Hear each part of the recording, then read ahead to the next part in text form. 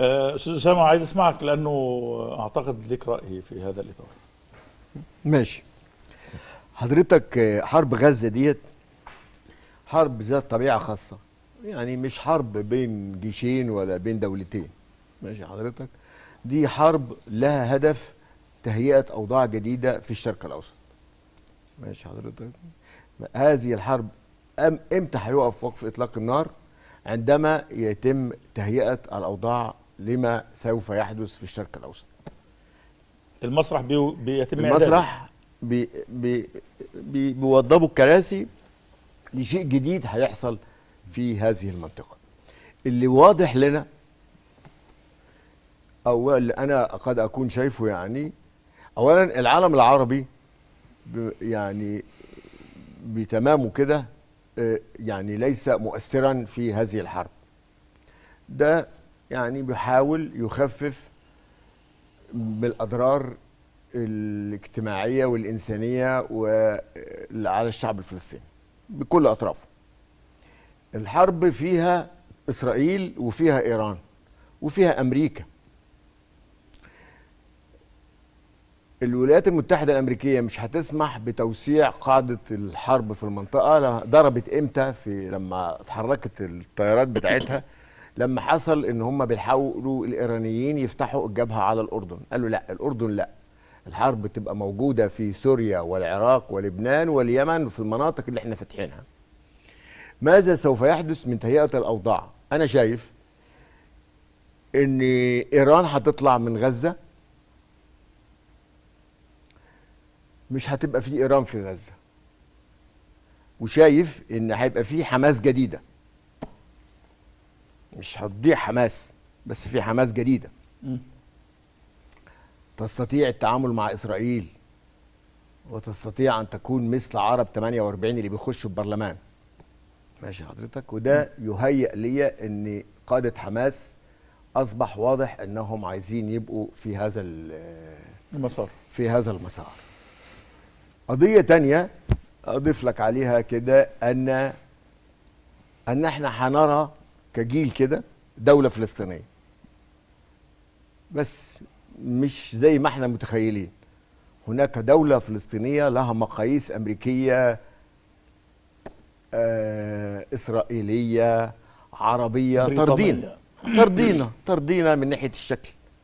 آه لكن آه آه، آه، هيبقى في دولة فلسطينية في state فلسطيني هيبقى في الرئيس الفلسطيني.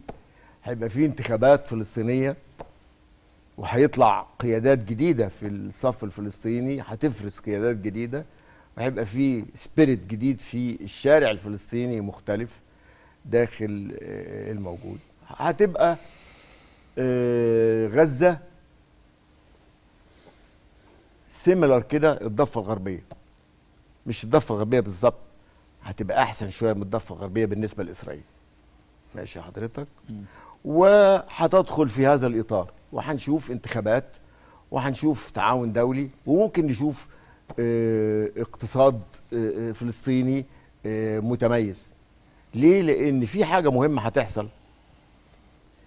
إن القرار في الشرق الأوسط اللي كان بادئ في الأول في أول الحرب ديت مع عمليته الحرب كان هنا إيران عايزة تقول في المنطقة إن القرار هنا إيراني. مع نهاية الحرب القرار في الشرق الأوسط مش هيبقى إيراني. هيبقى هيبقى المكون الأمريكي فيه أعلى شوية. وبالتالي هنا آه، السعودية هتاخد اللي هي كانت عايزاه وهو الدولة الفلسطينية. وهتدي ال- العلاقات مع إسرائيل. ده هتشوفه في خلال الأيام اللي جاية ديت هيبقى موجود. والخلاف البريطاني ال- أو الأوروبي الأمريكي ده مش خلاف. ده مقدمة. الأوروبيين دايما بيبقوا هم مقدمات الأمريكان في في الصراعات الكبيرة اللي زي كده. الكلام اللي خدته بريطانيا كمقدمة في اللعبة ديت في الآخر إن أنا بقول إن أنا آه هعترف هعترف. ماشي. آه، أنا كنت متصور إن بلينكن وهو بيتحرك من آه من آه، أمريكا في طريقه للشرق الأوسط يعلن اعترافه بالدولة الفلسطينية ويطلع على السعودية ياخد اعتراف آخر بتطبيع في العلاقات السعودية الإسرائيلية. ممكن كان ده يحصل.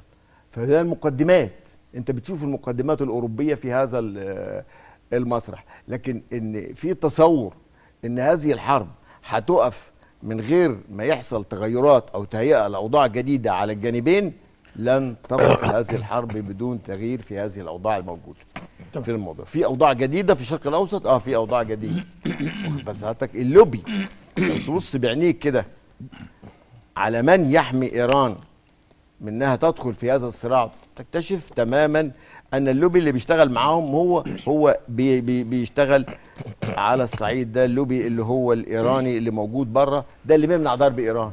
وبيمنع انغماسها في الشرق الاوسط اللوبي الايراني اللي موجود في أمريكا وفي واشنطن في العملية دي كلها. ده صانع قرار صانع قرار على الولايات المتحدة الأمريكية إنها تعمل حدود في صراعها مع إيران في هذا الصراع. لكن الترتيبات الجديدة ماشية في هذه المنطقة والتغيرات سوف تحدث وما فيش حاجة ال ال ال وإحنا بنبص لهذه الحرب عشان ما نغلطش إنها مش حرب هي هي عدوان آه، آه، آه، إسرائيلي على قطاع غزة هدفه تصفية القوات المسلحة اللي كانت موجودة اللي هي اللي في حماس وإعطاء شكل جديد لحماس في غزة. ولن تقف هذا الحرب نهائي بدون هذا الموضوع تمام.